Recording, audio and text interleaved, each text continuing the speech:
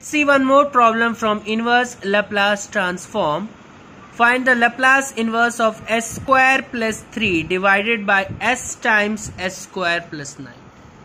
So let's uh, look at a concept which is the concept of division by s which says that if we need to find the Laplace inverse of f dash f bar s divided by s then we simply integrate from 0 to t the Laplace inverse of fs.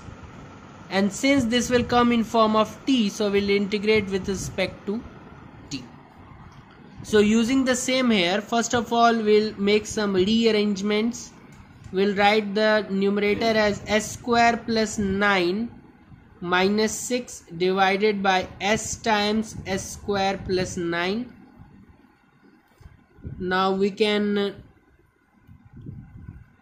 distribute this as uh, s square plus 9 divided by s times s square plus 9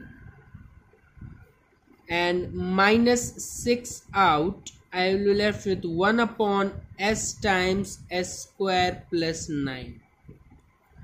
Now here you can easily see this will get cancelled. So you will be left with Laplace inverse of 1 by s minus 6 times uh, this will be Laplace inverse sorry. So 6 times Laplace inverse of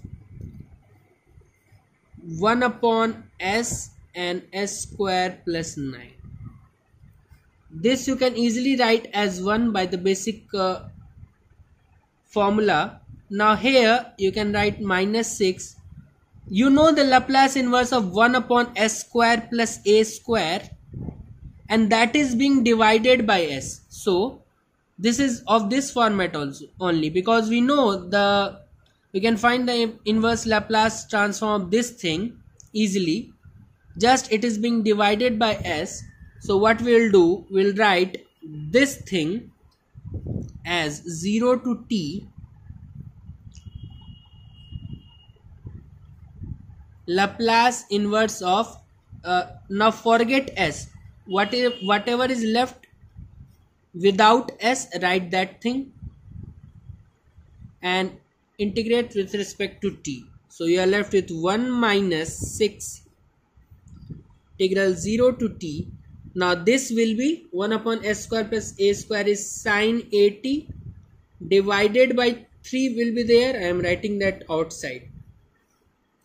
Integration of sine is minus cos so 1 minus 2 now minus cos so minus minus plus cos 3t and divided by 3 will also be there. Okay. So i am writing that 3 here. Okay and this goes from 0 to t.